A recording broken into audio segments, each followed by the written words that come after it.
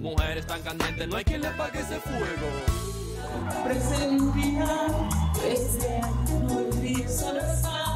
Chicas, ¿cómo le está pasando? Súper bien.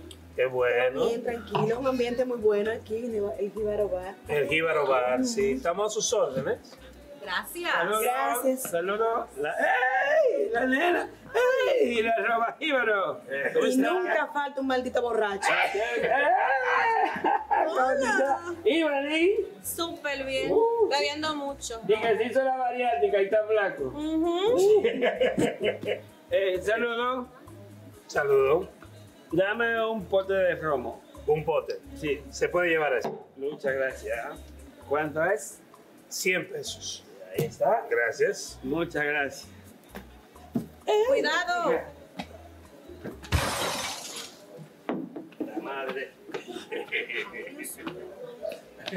Pero usted se cayó, pues se No, no, no, no, no, no, nada. Yo escuché como una botella, un ruido. Así es verdad, Chucky. Son negros.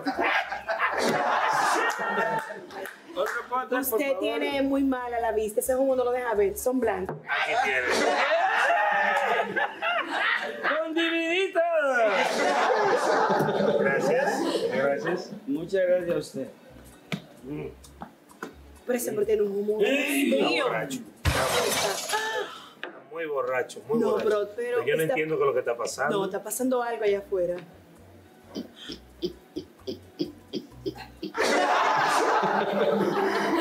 Tengo un zumbido en la mala palabra del oído. Ahora sí, dame otro pote. Otro pote. Sí, por favor. Pero tengo una esponja bebiendo. Aquí tiene. Otro pote.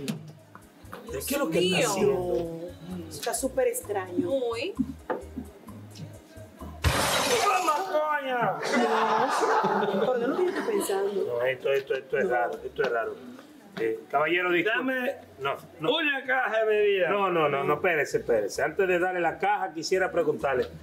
¿Por qué que usted cada vez que sale está extrayendo los potes allá afuera? Lo que pasa es que estoy vengando la muerte de mi abuelo. No, pero hay algo que no comprendo. ¿Qué tiene que ver el pote de ron con su abuelo? La bebida fue que lo mató y me estoy vengando. ¿Te quieres venir conmigo? los bomberos. Hay un reperpero, hay un reperpero. Mujeres tan candentes, no hay quien le apague ese fuego.